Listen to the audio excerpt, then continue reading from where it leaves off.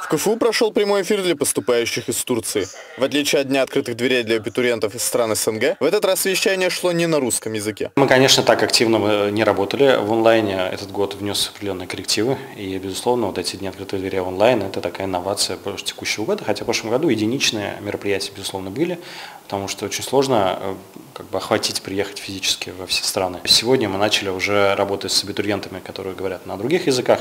И мы начинаем с турецкого языка, далее у нас будет испанский, испанский, арабский а, и английский языки. В настоящее время в КФУ проходит обучение 92 гражданина Турции на разных уровнях высшего образования. Университет заинтересован в наращивании их количества. И мы, э, безусловно, видим а, интерес этих студентов, э, их увлеченное обучение в нашем университете.